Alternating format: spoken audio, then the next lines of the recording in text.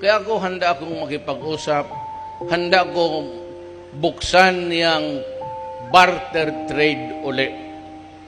Kaya marami nakatulong yan sa mga tausog. Pati yung mga yakan dito. Kayo ang pinaka. Maghanap ako ng paraan para kailangan ko lang kayong kausapin. Kailangan ko lang kayong kausapin mga tama tapos kung ano ang gusto ninyo. Ngayon gusto ninyo mga Well, I said anything that uh, kaya kong ibigay. Pera man ang lahat ito. Pera ng buong Pilipinas. Pera ng kapawa ninyo, Kristiyanos. Eh, mali tayo. eh.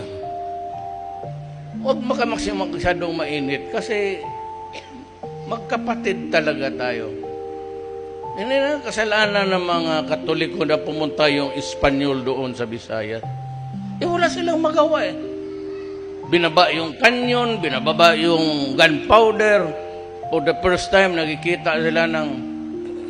Kaya ako sinasabi ko sa inyo, proud dapat ang tausog.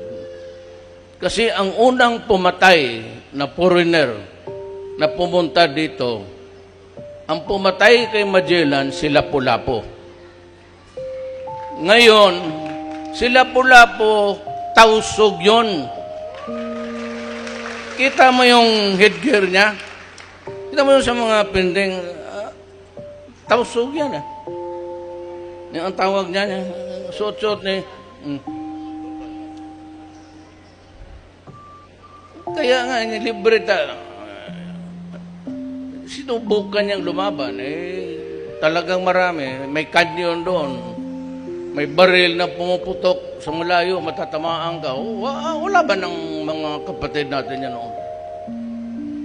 So, parang pag, ano man, wag mong sisihin na nandito sila. Kaya ka mag, puro magkamukha tayo lahat eh. Hindi naman tayo Arabo. Huwag tayong sumunod sa kanila. Ang kapatid natin talagang ng dugo, Indonesia, pati Malaysia, Brunei.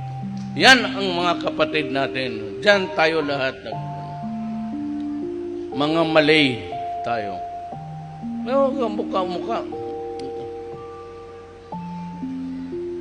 Ito, classmate ko man ito sa high school.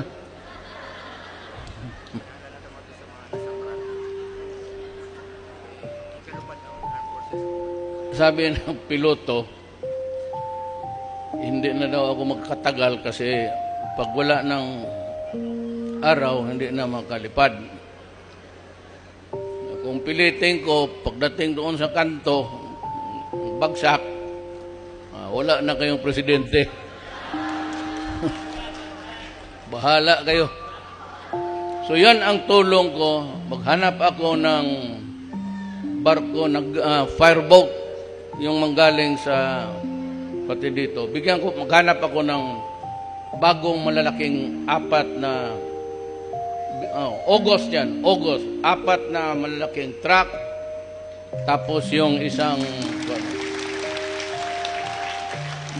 Sabado ba ito? Ano Sabado ron? Friday itong DSWD Pagcor uh, Philippine Charity Sweepstake pati ako bihin mo bang mag-overtime bukas? Di.